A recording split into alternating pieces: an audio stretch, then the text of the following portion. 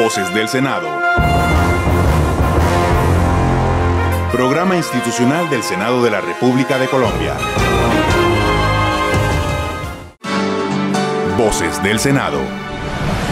Amables oyentes de la Radio Nacional de Colombia, muy buenos días. Desde las instalaciones del Capitolio Nacional se abren los micrófonos del programa Voces del Senado para contarles los hechos legislativos que fueron noticia esta semana. Esta es una iniciativa de la mesa directiva del Senado en la presidencia de Efraín Cepeda Sarabia, el primer vicepresidente Andrés García Zucardi, el segundo vicepresidente Antonio José Correa y el secretario general Gregorio El la directora administrativa Astrid Salamanca. En la dirección quien les habla de Berto Amor Beltrán, jefe de la Oficina de Información y Prensa. La producción es de Jorge Gutiérrez, la coordinación de Marix Zapardo y el apoyo periodístico de Valentina Garzón Sarmiento, Carolina Martínez y Pedro Vargas. En cabina me acompaña Juliet Ochoa, periodista de la Oficina de Información y Prensa. Buenos días, Eberto. Le enviamos un saludo fraterno a todos los oyentes de las 51 frecuencias de la Radio Nacional de Colombia, que cada fin de semana, a partir de las 7 y 30 de la mañana, están en sintonía de Voces del Senado. Y además los invitamos a seguirnos en Facebook como Senado Colombia, en Twitter con el arroba Senado Gopco y la aplicación Mi Senado para que usted la tenga en su dispositivo móvil. Las noticias legislativas en Voces del Senado.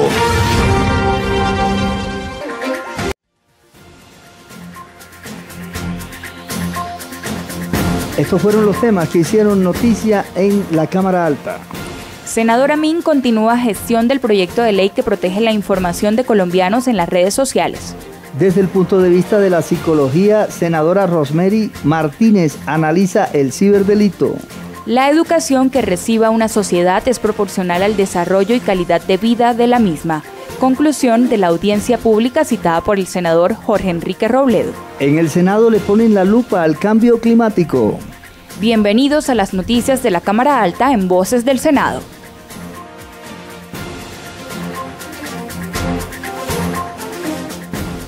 Juliet, usted conoce muy bien este tema, la tecnología y las redes sociales. Estas son herramientas que permiten estar en contacto con diferentes personas en cualquier lugar del mundo.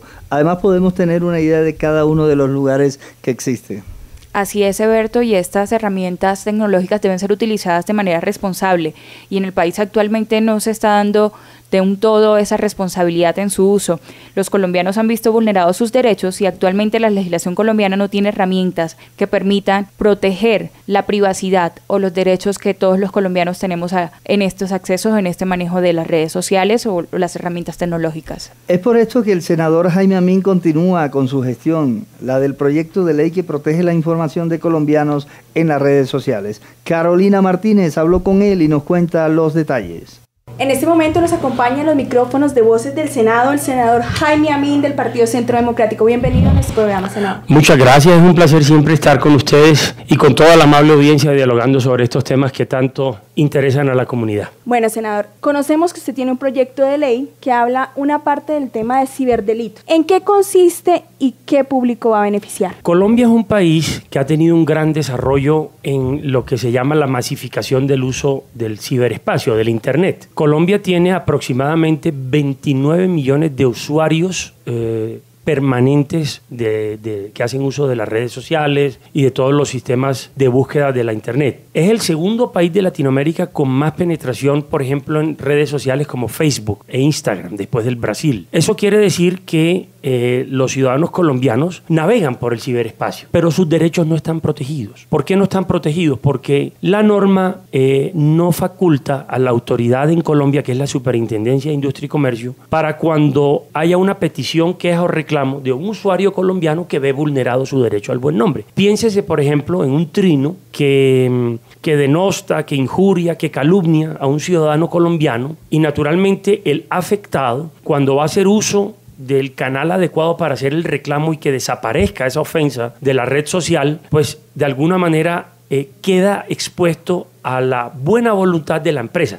Y se puede llamar Twitter o Facebook o Instagram. O por ejemplo, cuando una persona hace una compra por Internet a un portal como Amazon, como eBay, como hay miles, naturalmente miles, millones de páginas que los usuarios colombianos visitan en Internet. Pero estas empresas, y aquí es donde viene el problema, operan en Colombia, es decir, almacenan, recolectan, trafican los datos de los colombianos, pero no tienen domicilio en Colombia. Al no tener domicilio en el país esa empresa, sino en el exterior, cuando se presenta un reclamo de un colombiano que ve afectado su derecho al buen nombre, tiene que irse, como, dicen, como dicen aquí en la sabana cundiboyacense, a quejar al mono de la pila, porque no hay manera de proteger, de preservar el derecho al buen nombre del colombiano, porque la empresa puede o no contestarle. Entonces, ¿qué estamos haciendo con nuestro proyecto de ley? Obligar a que las empresas que manejan la información de los colombianos, que la trafican, que la almacenan, que la exportan, le respondan al ciudadano colombiano cuando éste presente una queja por vulneración a su buen nombre. ¿Quién va a ser la entidad competente? ¿Cuál va a ser? La Superintendencia de Industria y Comercio, que quedará facultada, obviamente, para hacer el reclamo y para poder eventualmente imponer multas o inclusive poder sancionar con el cierre del nombre eh, del, de la razón social de la empresa que ha vulnerado el buen nombre del colombiano. Senador, en este momento se está presentando mucho el tema de captación de fotografías por medio de las redes sociales para sobornar a los menores de edad. ¿Esto también iría vinculado a este proyecto de ley? A ver, sin duda se trata de un tema que tiene una connotación penal, porque cuando se trata de temas extorsivos y la Policía eh, Nacional y la Fiscalía General de la Nación tienen unidades especiales contra los delitos informáticos, pues evidentemente ya allí hay una primera protección legal. Es decir, la vulneración sí está eh, eh, en lo que tiene que ver con la investigación y eventual sanción a cargo de la autoridad colombiana.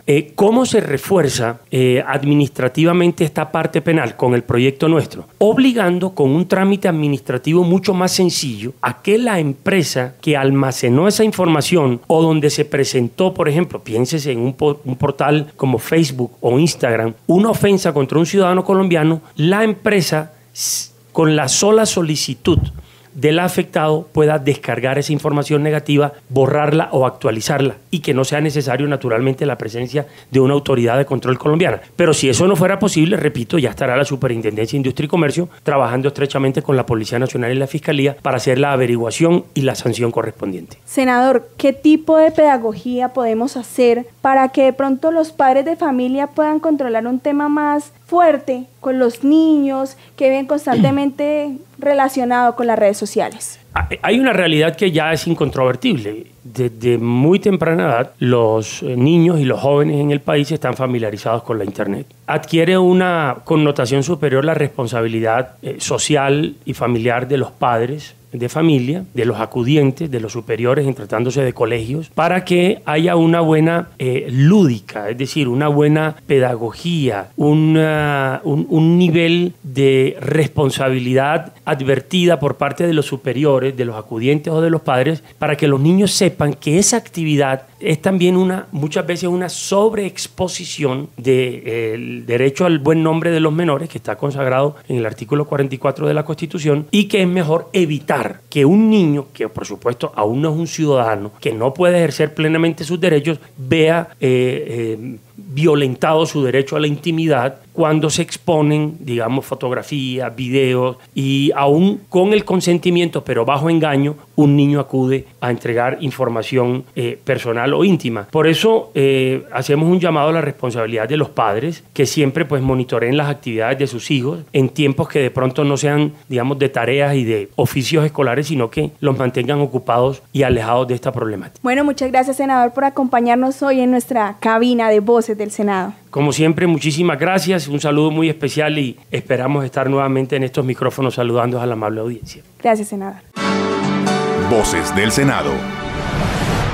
Eberto, quienes se ven más afectados por la nueva ola de la tecnología son los padres de familia y sus hijos, y como madre y cabeza de familia la senadora Rosemary Martínez habló también para los micrófonos de voces del Senado sobre la importancia de hacer un control del uso de las tecnologías, sobre todo en los menores. Juliet, ella nos cuenta desde un punto de vista psicológico que no es quitarles estas herramientas a los niños y los jóvenes, sino enseñarlos a utilizarlas para que le den un buen manejo, un manejo adecuado. Carolina Martínez nos trae detalles de esta conversación con la senadora Rosemary Martínez. Nos acompaña hoy en los micrófonos de voces del Senado la senadora Rosemary Martínez. Senadora, tenemos un grave delito en este momento que es el ciberacoso. ¿Cómo se manejan los niños y de qué manera impacta el tema psicológico en ellos? Bueno, primero que todo, un agradecimiento a Voces del Senado, a este grupo de mujeres y hombres que acompañan para poder contarle a la ciudadanía que sí legislamos en el Congreso y que sobre todo hemos hecho muchas leyes, especialmente la ley del maltrato intrafamiliar que es de mi autoría y muchas compañeras más. Eh, reformamos el Código de Infancia y Adolescencia en el Congreso de la República. Mis 15 años me he dedicado no solo a, a la familia, sino también al niño, al adolescente, al discapacitado. Mire, es de gran importancia hacer y traer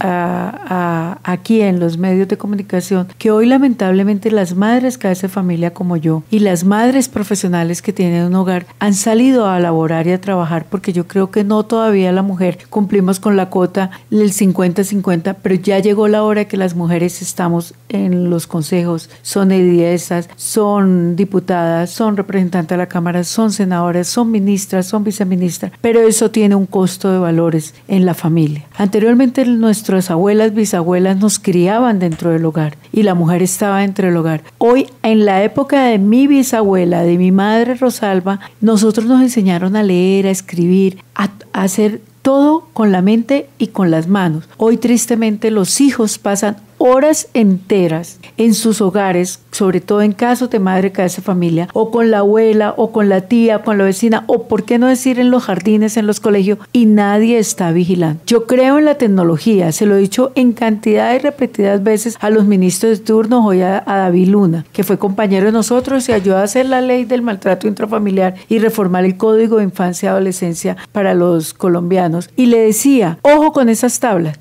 Y fue tanta mi insistencia que hoy hoy el Ministerio de las TI hay un curso y una preparación para los profesores. Oigan, oigan, oyentes colombianos y colombianas, muchas veces los maestros no sabían manejar una tablet. Mucha gente, los maestros no sabían la nueva tecnología, pero tú ves que un niño de tres años, dos años, ya maneja mejor el teléfono que yo. Ya los niños de ahora no escriben, ya los niños de ahora no suman, ya la mente es preocupante. Se ha dicho científicamente que los jóvenes de hoy en día no van a tener la madurez y la alta edad de muchos bisabuelos de nosotros abuelos, porque cuando uno no piensa y ejercita, viene el Alzheimer. Y casualmente, cuando se habla del Alzheimer, se dice que hay que tener mucha agilidad mental, mucha memoria. Por eso, una de las tareas para los que tienen inicio de Alzheimer es eh, leer historietas, leer poesía, escribir la poesía, jugar ajedrez, jugar eh, todo lo que tenga ejercicio matemático. ¿Qué recomiendo yo hoy en Voces del Senado? Hace mucho daño la ausencia del padre, la ausencia de la familia, la ausencia de los valores y especialmente cómo vamos a juzgar que hay acoso cibernético si el niño pasa realmente o la madre que está en el tabla, en el, en el trabajo o el padre o la familia que está en el tiene el dispositivo para vigilar qué está haciendo su hijo o quitarle la tabla es reprimirlo para que llegue al colegio y nuevamente aplique eso. Esto es familia, esto es valores y esto es ética. No podemos juzgar que los niños están permitiendo el acoso. Es la ausencia de la familia, es la ausencia del padre, lamentablemente, o sea, jefe hogar el padre o madre jefe hogar o la familia. Muchos padres de estrato 4, 5 y 6 dejan sus hijos al albedrío de las grandes nanas y la madre cabeza de estrato 1 2 tiene que dejar su niño cerrado, pero en el colegio hay otros que tienen la posibilidad y bien. Esto es más de cuidado, esto es de darle el tiempo a los hijos en valores, así sea corto, pero especialmente no quitarle, arrebatarle los implementos de tecnología, sino explicarles. A los niños depende cada edad de 1, 2, 3, 4, 5, se le habla. No es que al niño muy pequeño de inmediato se le está entregando una sexología profunda, no. Eso lo dice dicen los pedagogos, eso lo decía Piaget, cada ilusión de vida tiene su lazo de enseñanza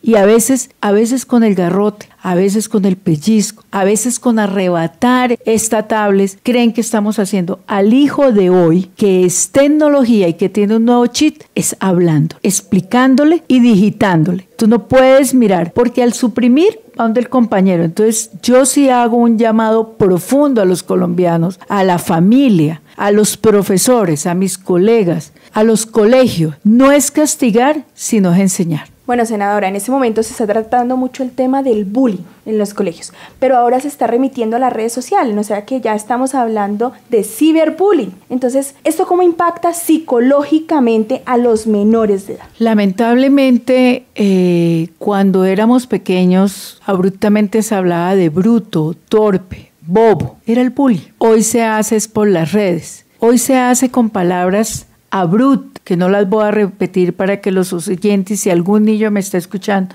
hoy se tiene que la familia ser muy compenetrada. Yo soy madre de esa familia, tengo dos hermosas hijas, a Sandra Liliana, María Pablo y dos hermosos nietos. Y yo casi todo el tiempo de mi vida, desde que aprendí a ser mamá, dejé las niñas solas. Pero siempre les daba esos vasos o esos tecitos de amor que le entregué las herramientas de la vida. Lo más importante es la comunicación. ¿Por qué hoy los matrimonios son express? ¿Por qué hoy no se piensa en la familia, sino en el, en el momento de vida o en el goce de la pareja? Porque los valores se han ido y no implementando, sino descuidando en la familia. Entonces, antes de hablar de todo un proceso, porque yo no podría como psicóloga, que ya no hago ejercicio psicológico, eh, detectar, eh, porque cada paciente, cada ser humano es un paciente y no se puede generalizar. A mí me da mucho dolor cuando los psicólogos, a veces los que hacen apoyos en esas cadenas radiales como RCN, Caracol, hablan generalizado del amor, de la convivencia. Cada familia, cada paciente, cada individuo es un proceso. Bueno, muchas gracias, senadora, muy amable por acompañarnos hoy en los micrófonos de Voces del Senado. Gracias al Senado, a este equipo maravilloso que piensa en alertar con pedagogía. Muchas gracias. Voces del Senado. Colombia no tiene el desarrollo que merecen los ciudadanos debido a la mala calidad de educación que se ha recibido durante los últimos años. Fue una de las conclusiones de la audiencia sobre educación en Colombia realizado por iniciativa del senador Jorge Enrique Robledo. ¿A qué otras conclusiones se llegó? Valentina Garzón nos responde. Con el hashtag Hoy le toca la educación, se llevó a cabo en la Comisión Quinta una audiencia pública donde congresistas, profesores y estudiantes de colegios y universidades analizaron la problemática por la que atraviesa la educación en el país. Dentro de las conclusiones se determinó que altos costos de los posgrados impiden que los profesionales de los estratos más bajos puedan acceder a ellos, para así contribuir en el desarrollo del país. Hay áreas enteras del sistema educativo que ni existen por ejemplo, el preescolar de tres grados, que es una cosa importantísima en la formación de los niños, prácticamente no existe. Toda la política de posgrado de las universidades públicas es con matrículas parecidas a las de las universidades privadas, lo que quiere decir que no existe un sistema de posgrados público y cosas como esa uno lo puede mostrar. La inversión en Colombia en ciencia es una vergüenza mundial, somos de los peores países del mundo en eso. Haber mantenido durante 50 años el discurso en defensa de la doble jornada y ahora no es que lo estén cambiando de verdad, sino que están haciendo demagogia. Cosas como la de ser pilo paga es una manera de trasladarle plata de recursos públicos a la educación privada. Y por supuesto que la educación que necesita este país fundamentalmente es la pública, pública de alta calidad. No es que no pueda haber privada, pero es que si queremos que las gentes sencillas de Colombia y las clases medias tengan buena educación, tiene que ser en educación pública. No se puede de otra manera. Entonces uno lo puede demostrar de, de, muchísimas, de muchísimas maneras que la política es la mala educación. Ahora, cuando uno mira el conjunto de la economía nacional, que algunos de los científicos importantes que estuvo con nosotros lo mencionó el doctor Posada, pues es evidente que si usted no quiere tener un gran desarrollo industrial, no quiere tener un gran desarrollo agropecuario y en Colombia no lo quieren tener, pues la mala calidad de la educación es la política, porque es que finalmente la buena calidad de la educación tiene que ver es con el país que yo quiera construir. Si yo no quiero construir un gran país, pues no voy a tener una gran educación y está demostrado que no quieren construir un gran país. El arte termina siendo la cenicienta del presupuesto, aseguró la estudiante de artes de la Universidad Distrital, Angélica Riaño, quien además narró la difícil situación de quienes se dedican a las artes plásticas, escénicas y musicales después de los recortes a la cultura en el presupuesto nacional. He podido por muchos medios darme cuenta que el tema central del arte termina siendo es la falta de financiación que tiene por parte del gobierno, como que siempre ha sido la cenicienta del presupuesto general y cada vez está empeorando. La política pública por un lado, entonces desfinanciamos al sector hasta donde más no poder. Te estoy hablando que el 2016 era el 0,2%, en el 2017 0,17 y para el próximo año a ese 0,17 le recortan el 36%. Entonces es una cosa que ya no hay plata pública. Pero por otro lado, entonces promueven una ley que es la ley de economía naranja, en donde, y pues es decir, es una ley que promueven en el Congreso el Centro Democrático, pero que el gobierno nacional toma como hijo. Y digamos que esta es una ley que viene direccionada desde el Banco Interamericano de Desarrollo, el BID, y ha planteado cómo debería ser toda la política cultural en Colombia y en general en Latinoamérica. Pero es un banco. Es como si nosotros los artistas nos sentáramos en la junta directiva del banco a definir cuáles son sus lineamientos. Francisco Torres, secretario de Relaciones Internacionales de FECODE, se mostró preocupado por los recortes que cada año tiene el rublo de la educación en el presupuesto nacional. El recorte que hay proyectado es de 1.2 billones de pesos. La situación es muy grave porque mientras los recursos van a aumentar el año entrante apenas el 0,5%, la inflación va a estar por encima del 3,5%. Entonces hay un hueco fiscal enorme que nosotros venimos exigiendo que se resuelva por medio de una reforma constitucional al sistema general de participaciones, como se acordó con FECO y el gobierno con ocasión del paro de mayo y junio de este año. Esto afectaría en la calidad, pero de pronto también en el número de jóvenes que podrían no tener el acceso a la educación. La situación es caótica, no hay recursos para infraestructura escolar, la alimentación escolar no se le está dando sino a la mitad de los estudiantes y en pésimas condiciones, no hay recursos para transporte y, y no habría recursos tampoco para pagar la nómina del personal docente y administrativo. Se requiere con urgencia un cambio en la política económica con lo que tiene que ver con la educación y el aumento sustancial de los recursos. Voces del Senado. Nos ocupamos ahora, Juliet, del tema del cambio climático. En los últimos años hemos visto con preocupación cómo en muchos países se vienen presentando lluvias y fuertes granizadas como nunca antes, así como inundaciones, temperaturas extremas, tanto de frío como de calor. Colombia no es la excepción.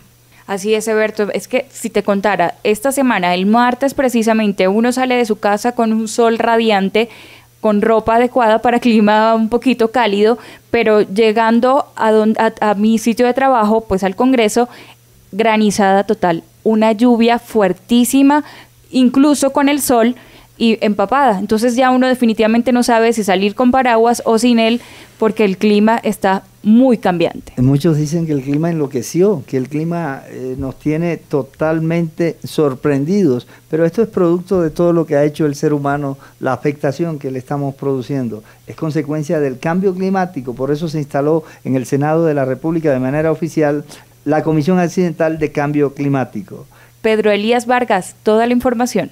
El Congreso de Colombia debe ser protagonista de primera línea en los asuntos de cambio climático. Un Estado como el colombiano no puede dejar que su aparato productor de leyes, el Poder Legislativo, no tenga una institucionalidad y por eso se ha creado esta Comisión Accidental Permanente de Cambio Climático, indicó el senador Jorge Hernando Pedraza del Partido Conservador Colombiano. Primero lo hemos realizado cumpliendo con una resolución de la mesa directiva que entendió que el Congreso de Colombia debía ser protagonista de primera línea en los asuntos de cambio climático. Un Estado como el colombiano no puede dejar que su aparato productor de la ley, es el Poder Legislativo, no eh, tenga una institucionalidad y por eso se ha creado esta Comisión Accidental Permanente de Cambio Climático que estoy coordinando. Eh, hoy llevamos a cabo la instalación y naturalmente tiramos unas hojas, unas líneas de, de ruta, una hoja de ruta sobre las cuales navegaremos a lo largo de todo este periplo, que seguramente serán 20 o 25 sesiones, para que al final tengamos unas conclusiones que se conviertan en un documento que eh, pueda ser asumido como una especie de política de Estado que trascienda de los gobiernos y que naturalmente responsabilice tanto a la institucionalidad, al Congreso,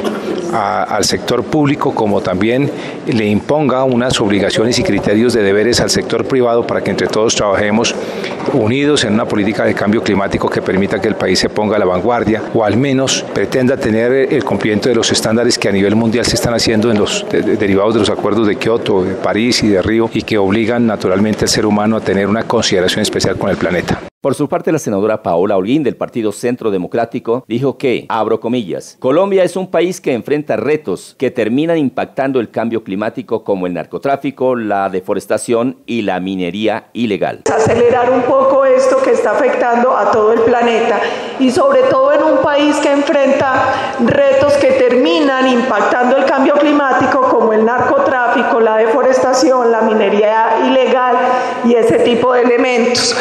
pero además, lo han dicho aquí, un país que tiene muchas oportunidades que vienen dadas, por ejemplo, por la posibilidad que tenemos de contar con una importante institucionalidad.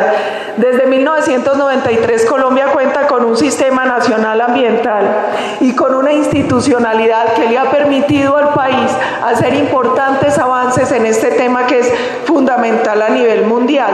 De hecho, Colombia paradójicamente es una de las economías en el mundo más limpias cuando uno mide la emisión de CO2 o de gases efecto invernadero y el PIB, uno se da cuenta que el hecho de tener la mayor parte de producción de energía hidroeléctrica nos permite estar en un sitio privilegiado en el compromiso que tenemos con esta emisión de gases efecto invernadero, pero vuelvo y digo, paradójicamente somos uno de los países que va a enfrentar con mayor dureza este cambio climático. De otro lado, el magistrado Oscar Darío Amaya del Consejo de Estado agregó que indistintamente de las funciones que le corresponde a cada una de las tres ramas del poder público y a los organismos de control, a todos les compete tareas frente al tema de cambio climático. Eh, todas estas entidades que por supuesto hacen parte del Sistema Nacional Ambiental, tan urgido de una iniciativa como esta, senador, las que ustedes han, senadores, las que ustedes han llamémoslo, operativizado a partir de hoy con el tema de la instalación de la Comisión Accidental de Cambio Climático.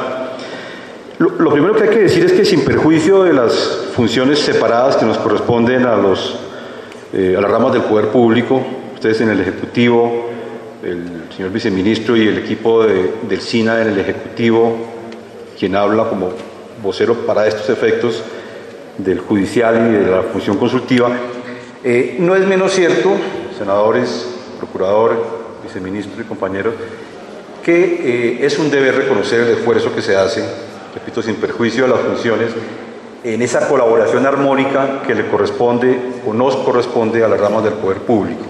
Este es un tema, el del cambio climático, que trascendió las barreras, no solo fronterizas, no solo ideológicas, sino institucionales.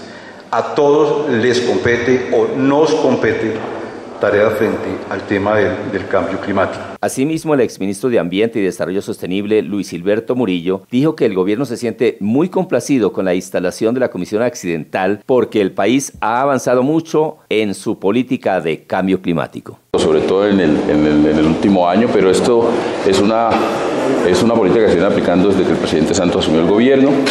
Eh, ya tenemos eh, una visión al año 2030 eh, donde hemos establecido unas prioridades. Vamos a cumplir la meta de disminución de un 20% de nuestras emisiones al año 2030 y vamos a cumplir nuestra meta de adaptación al cambio climático. Voces del Senado. Aquí finaliza la emisión de Voces del Senado, pero no dejen de sintonizarnos la próxima semana, sábado y domingo, a partir de las 7.30. Así los invitamos a consultar nuestra página web. www.senado.gov.co y también a ver el noticiero del Senado en el canal Caracol los jueves a las 7 y 5 de la noche. Y no se olviden también Voces del Senado en televisión los sábados a las 8 de la noche y los domingos a la 1 de la tarde. Este programa y otras noticias más estarán a su disposición en el canal de YouTube Senado Colombia y si usted desea recibir más información, escríbanos a voces del Senado senado.gov.co y a continuación en la Radio Nacional de Colombia Voces Unidas, programa de las Naciones Unidas. Nos vemos en otra oportunidad, Eberto, aquí en Voces del Senado. Muchas gracias, Juliet. Muchas gracias a todos quienes nos escucharon a esta hora en Voces del Senado. ¡Feliz domingo! Voces del Senado. Programa institucional del Senado de la República de Colombia.